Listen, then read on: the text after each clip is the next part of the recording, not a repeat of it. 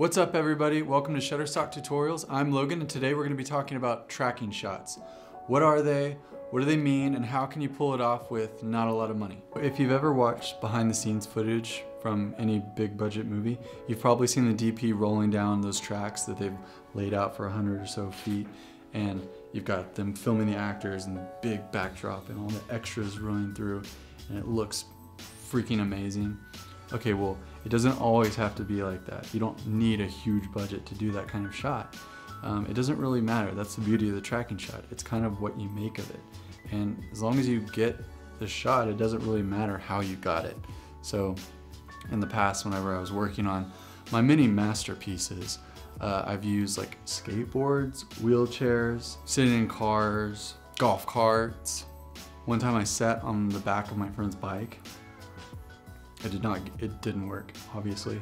Rollerblades, you can use like a gimbal, a glide cam. I used to pop my DSLR on the glide cam. Very, it's cheap and it's easy. Um, you can use a steady cam, obviously. So it's basically just about getting that movement alongside your actors. Fun fact for you, one of the best ways you can actually make your own track, buy some PVC pipe, 2x2 board, or board big enough to fit your tripod, throw some skateboard wheels on there, good to go like this. We've got two, we've got two pipes, one of these. So those DIY tracks that aren't very long are perfect for anybody shooting like product videos for clients because you can get just a smooth sweeping shot of something sitting on a cabinet or whatever it is that you're making a video on. So you might be asking yourself, what is the point of a tracking shot? Well, it's kind of up to you.